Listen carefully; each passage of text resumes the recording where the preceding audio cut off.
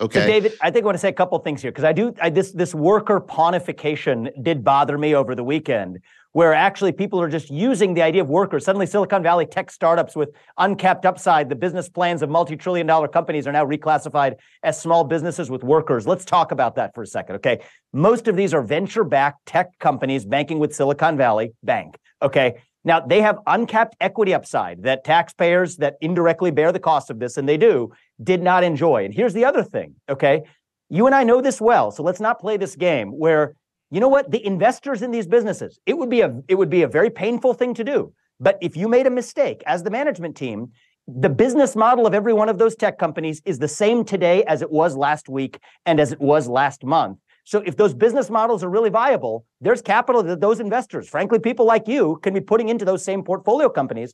But that is a difficult thing to do. It is painful. I know it is painful. It involves dilution. It involves added capital off a venture firm's balance sheet. The founders are going to make less money when their stock goes up.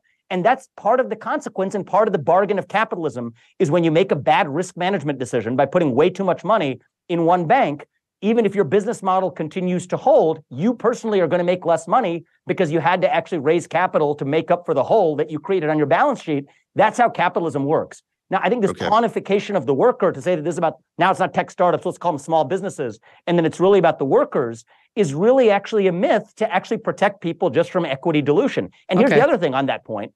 Many people, and you know this well too, who did business with Silicon Valley Bank had special arrangements with Silicon Valley Bank. Now, you and I share in common the fact that venture debt is usually a bad idea for a startup. But nonetheless, Silicon Valley Bank did provide venture debt to a lot of these startups, which allows those founders and CEOs to own greater ownership percentage in their firms. The taxpayers, right, they got, inv- I, I, I, we got it. You, they got an advantage. I'm up against a break.